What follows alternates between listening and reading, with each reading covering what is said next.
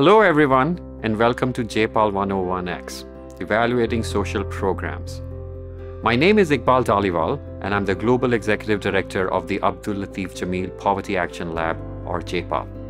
JPAL is a global research center working to reduce poverty by ensuring that policy is informed by scientific evidence. A network of 600 plus researchers are based at dozens of universities around the world and conduct randomized impact evaluations to answer critical questions in the fight against poverty. And while I'm greeting you from our global office here on the campus of MIT in Cambridge, USA, we have regional offices and staff in a dozen countries. We closely partner with governments, NGOs, donors, and others to share this knowledge, scale up effective programs, build capacity of researchers and practitioners, and advance evidence informed decision making. So, why do we do what we do? Despite considerable progress over the past decades, numerous challenges to end global poverty and spur economic development still persist. Millions of people still face hunger and food insecurity or die from preventable causes such as diarrhea.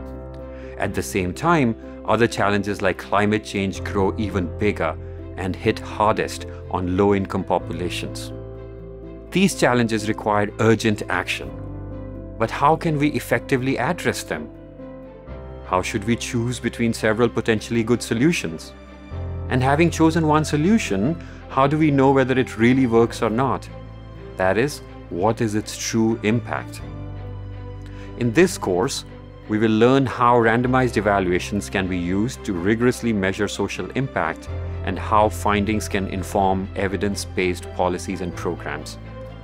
We will take an in-depth look at each step in the design and implementation of a randomized evaluation using real-world examples, from developing a theory of change to conducting the randomization process and navigating design challenges and ethical considerations.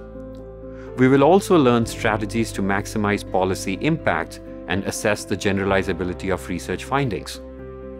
This course is designed for policymakers, program implementers, and practitioners from governments, NGOs, international organizations, foundations, and beyond who are interested in learning how rigorous evaluations can help ensure their organization's programs have the intended impact, as well as students and early career researchers who are looking to retool. We look forward to seeing you in class. Thank you.